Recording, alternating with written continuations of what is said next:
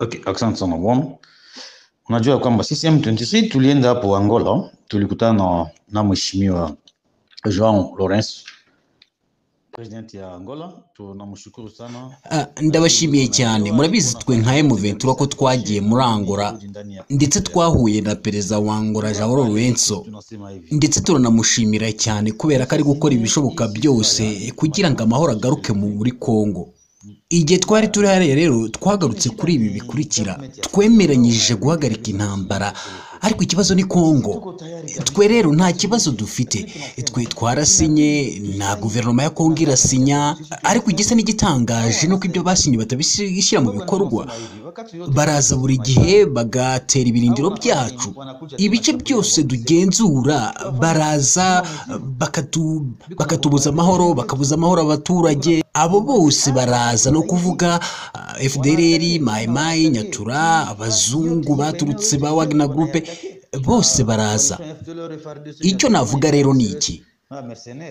Leta ya kongo niyo kibazo. Twe nta kibazo dufite. Guverinoma ya kongo niyo kibazo. Twe nta kibazo dufite kandi turiteguye. Twebwe twagahagaritse imirwano ariko bo barakomeza kwangiza inka zacu. Ibyo rero biraturakaza cyane. Twebwe rero dukunda amahoro ndetse twanasinye guhagarika imirwano ariko bo baranze. Baza bafite indege bakarekura amasasu muri kinigi muri gishishe kishishe muri katiguru eh, mushaki. Ntago navuga uduce twose. Twebwe rero turiteguye ariko guverinoma ya kongo yo yaranze. Bo bakomeje kwangiza inka zacu. Urabona urabona twe twasinye ku itariki ya mbere na makumyabiri na kabiri twasinye guhagarika imirwano. Ariko ikibazo ni guverinoma ya kongo urabona tumaze icyumweru cyose ariko baraza bakagaba ibitero ku birindiro byacu. Bo bataka ibirindiro byacu byose ahantu hose mu bice byose. Niyo mpamvu turi gusaba guverinoma ya kongo guhagarika imirwano. Twebwe twahagaritse imirwano. None nibagumya kutwataka twurumva tuzakora iki? Tuzirwana. Baliatake position yetu fasi yote pande zote. Na hiyo tunasema tunaomba na government ya Kongo ashimamishe mapambano. Sisi tulishashimamisha mapambano, lakini hao ndio biko nakuya kutuataka, sisi tutafanya nini? Tunajibu na mapigo yao bwana. twakubwira ko M23 rero byari biteganyijwe ko uyu munsi ari bwiva mu bice byose yigaruriye nk'uko yabyemereye perezida wa Angola ndetse twanakubwira ko izi nyeshyamba zanze kuhava kubera ko ngo igisirikare cya Repubulika Iharanira Demokarasi ya Kongo gikomeje kubagabaho ibitero nabo bakirwanaho.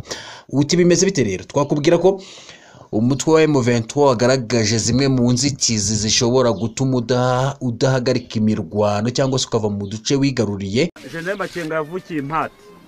Yavukiye impati akurira i Nyanzare aragenda yigira i Kanyatsi. Iyo bari kuvuga ngo M23 M23 M23 ntari abanyarwanda. Makenga none umwe mu bayobozi bakuriye igisirikare cyose cya M23 yavukiye impati ariko iyo abantu bari kubabwira wagira ni abanyamahanga baba bari kubabwira. Perezida wa M23 yitwa Bertrand Bisimwa ni umushi w'i Bukavu sekretari egizekitifu wa M23 yitwa Benjamin Bonimpa ni umuhutu w'irucuru iyo bari kubabwira rero wagira baba bari kubabwira abarundi cyangwa abanyamahanga. Baba babuze icyo bavuga bakababwira ibintu bijyanye no kuvangura gusa kuko nta kindi kintu nta yindi disikuru bafite babwira abaturage. Rero abayobozi bantumye ngo pole ariko babashimira kubona kuva hejuru mwaririnze amacakubiri. Bakavuga ati rero ko abaturage ba kibarizo mwirinze amacakubiri dushire hamwe kugira umutekano uze. Juu tulete amani kibarizo inaomba vitu tatu ya kwanza kuacha division kuko nta muntu wagiye mu nda ya nyina ngo avuke ari ubwoko fulani.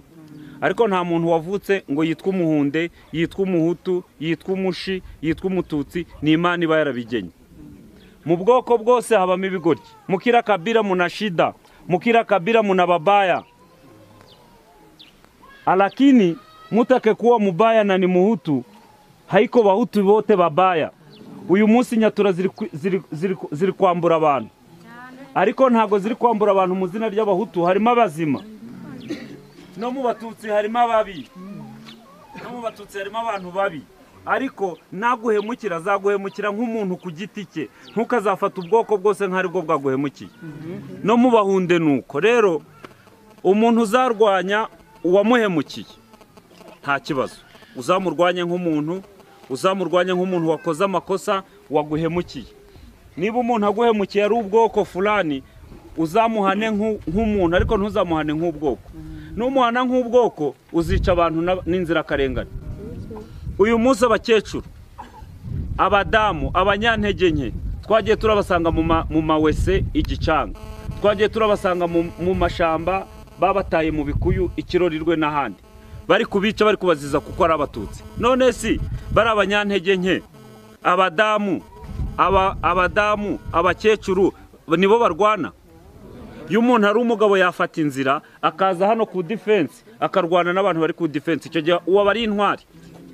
Ariko umuntu ufashe inzira akajya kwica umugore akajya kwica umwana akajya kwica umusaza nta kintu yamugize nta n'aho ahuriye na byo. Icyo gihe uri kurwana n'imana. Nizo ntambara zabo nizo ntambara zabo. Ariko twewe kenya tunagomba niya ni iki? Twewe muventura ikintu turwanirira ni uburenganzira bwacu bwo kugira umuntu iwabo yishire yizane.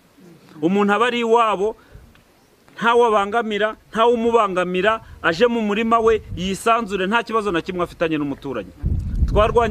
Twarwanye na kabira tugirana amasezerano birarangira. Tuja kuri kisekedi turavuga ati ko tubonye kisekedi amahoro arabonetse. Kisekedi amaze kuba perezida. Yafashe telefone.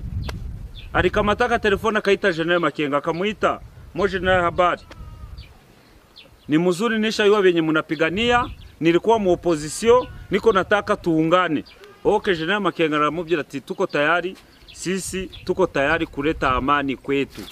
Kisekedara yagiye aricara arasinzira hari mu bihumbi bibiri na cumi n'icyenda arangije tugeze mu bihumbi bibiri mu bihumbi bibiri na makumyabiri itariki icumi itariki imwe y'ukwezi kwa cumi turavuga ko kisekedi ya- yanze ubuyobozi bw'icyama bufata icyemezo. Baravuga noneho?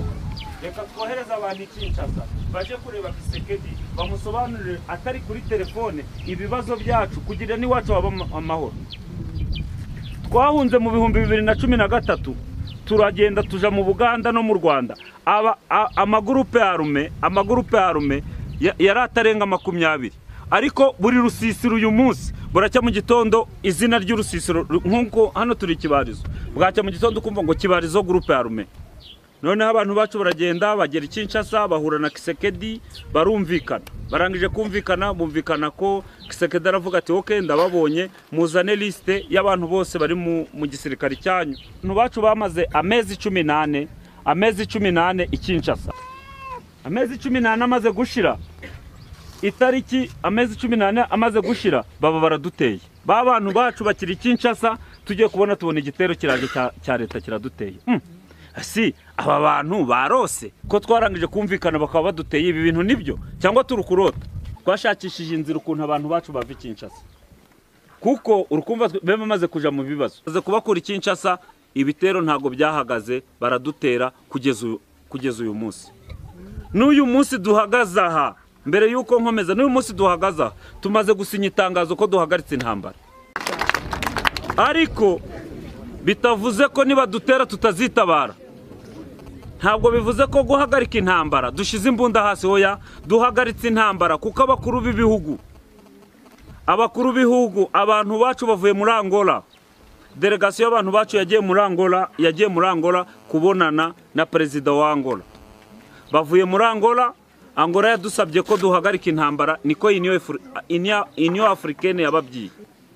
Intambara kuyihagarika baravugaga seserefe igomba kuba ikintu bita mu gifaransa bilaterale seserefe ntabwo igomba kuba ku gice kimwe. Seserefe niba twe twanditse buno tukaba duhagaritse intambara. Na leta ya kinshasa igomba kwandika ko ihagaritse intambara. Niba dutera tuzitabara nk'ibisanzwe. Duhora dusaba guhagarika intambara tukavuga turayihagaritse ariko turayihagarika bigahagarara mu kanya ukabona baraduteye kandi nibo banyantege nke ntabwo ari twe banyantege nke nibo banyantege nke Hapa Uvira baraza mmezungumza kuhusu hali ya usalama hapa?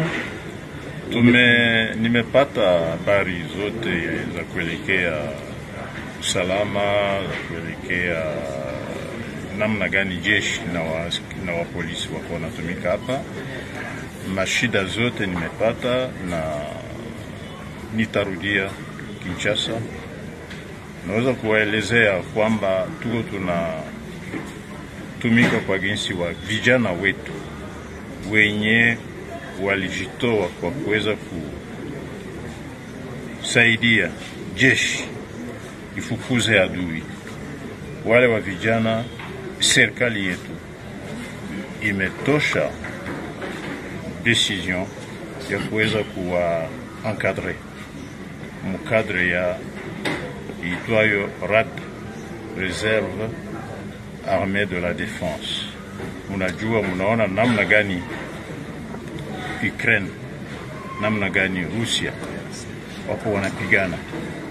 Ha, haiko tu wasoda waskari ndio wako wanapigana, huko pia wananchi wapatriot wenye wanawasaidia. Nasi tumeaidia, tumekamata ya decision ya kufanya watoto wetu wenye wanapenda kusaidia jeshi letu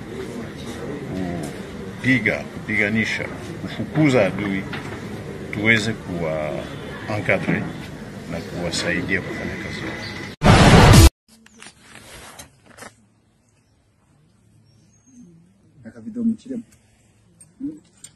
Konaklı yapayım ya diye. Bize